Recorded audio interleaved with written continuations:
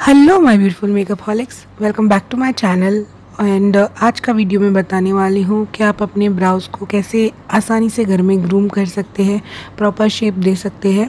मैं यूजुअली अपने आईब्रोज़ के बाल प्लक नहीं करती, लेकिन मैं ज़रूर उनको इस तरह से कंसील करके एंड कुछ ब्राउ प्रोडक्ट्स की हेल्प से मैं उनको शेप दे देती हूँ, जो काफ़ी अच्छा लगता है।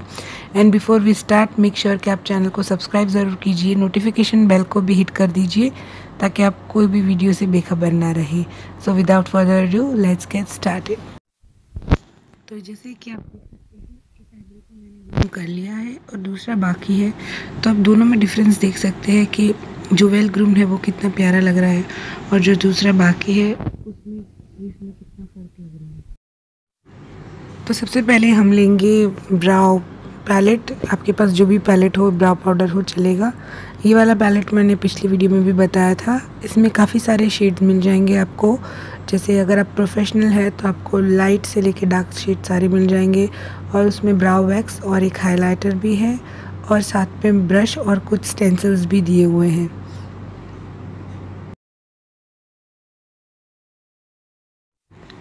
हमें चाहिए कुछ आईब्रो ब्रश और उसके साथ ट्वीज़र अगर आप अपने ब्लाउज़ को प्लग करना चाहते हैं तो मैं नहीं करती। और मैं ले रही हूँ एक अच्छा सा कंसीलर मेरा फेवरेट है ये मैक का कंसीलर और उसके साथ मैं ले लूँगी एक कंसीलर ब्रश अपने आईब्रोज़ के लिए।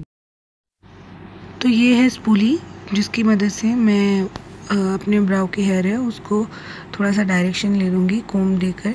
आगे के ब्राउज को अपने अपवर्ड डायरेक्शन में और जो बाकी के जो हेयर्स है, वो जिस डायरेक्शन में जा रहे हैं, उनको उस डायरेक्शन में कोम करना है। आप कोई सा भी स्पूली ले सकते हैं।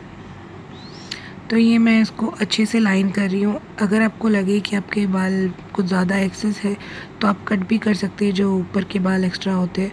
मैं यूजुअली नहीं कट करती।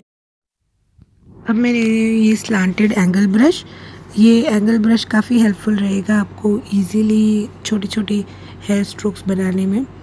मैं यहाँ पे ले रही हूँ एक ब्लैक कलर का जो उसमें आईब्रो पाउडर था और उसी से मैं उसको थोड़ा सा अपने आईब्रोज को मैप कर रही हूँ हल्के हल्के स्ट्रोक्स में, ताकि ऐसा ना लगे कि आपने एक ड्रॉ किया हुआ है, कुछ लाइन पर ऐसा लगे कि नेचुरल आपके बाल है।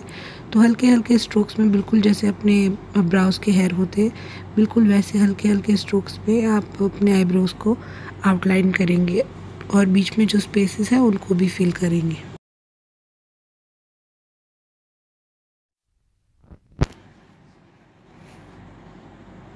जो आगे के बाल है, बिल्कुल उनको अब मैं, जैसे स्ट्रेट बाल है तो बिल्कुल उनको स्ट्रेट ही ऐसे इस ब्रश से मैं उसको स्ट्रेट ही मार्क कर रही हूँ हेयर्स को।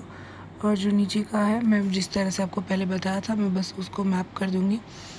अब सारे जो ब्राउ हेयर है उनको उसी शीट से सबको ब्लेंड कर देंगे आसानी से।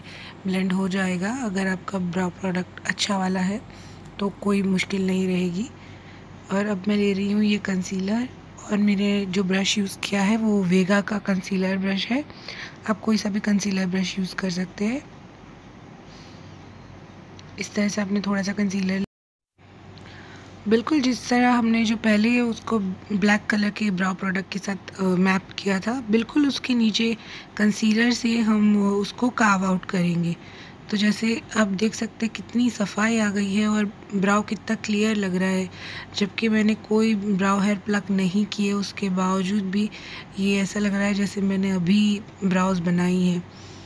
तो इस तरह से ये आपका क्लियर हो जाएगा। ऊपर की तरफ़ भी यही करना है। पहले कंसीलर को एक अच्छे से आउटलाइन कर देंगे। फिर मेक श्योर sure कि आप ब्लेंड करना ना भूलें, क्योंकि अगर आप ब्लेंड करना भूल जाएँगे या ब्लेंड नहीं करेंगे तो ऐसा बिल्कुल पैची लगेगा। तो मेक श्योर sure कि आप फिर कंसीलर को अच्छे से ब्लेंड कर दीजिए अपने रेस्ट ऑफ़ द स्किन के साथ, ताकि ऐसा लगे नहीं कि आपने इसको ब्लेंड नहीं किया। हो सके तो आप अपने फिंगर्स के साथ भी इसके ब्लेंड कर सकते हैं आसानी से।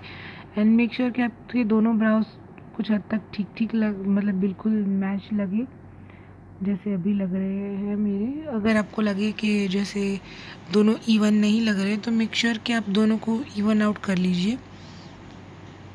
जैसे मुझे यहाँ पे नहीं ऐसे लग रहा था कि वो बीच में स्पेस है तो मैं फिर से वही एंगल ब्रश लेके फिर थोड़ा सा और, उस पर मेरा ब्लैक कलर का ब्राउ पाउडर लेकर मैं इसको अच्छे से वैसे ग्रूम कर रही हूँ ताकि मेरे दोनों ब्राउज मुझे सेम लगे। अब मैं ना ब्राउ वैक्स जो उसमें अवेलेबल था, नहीं है तो आप स्किप कर सकते हैं। तो मैं ब्राउ वैक्स अपने ब्राउज पे लगा के ये इस स्पूली से मैं उसको सेट कर रही हूँ ताकि मेरा जो आईब्रो बना हुआ है वो मैसअप ना हो जाए और अच्छा सा ऐसे ही रहे जब तक मैं उसको रिमूव ना करूँ। तो आपने भी अपने ब्राउज पे वैक्स लगाना है।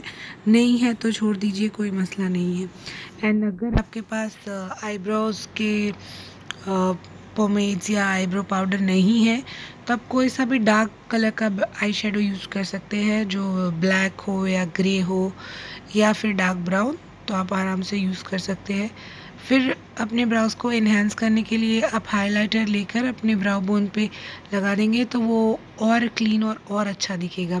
तो बस आज के लिए इतना ही था। मेक श्योर sure कि आप मेरे चैनल को सब्सक्राइब ज़रूर करें और नोटिफिकेशन बेल को भी हिट कर दीजिए ताकि कोई वीडियो से आप बेखबर ना रहें।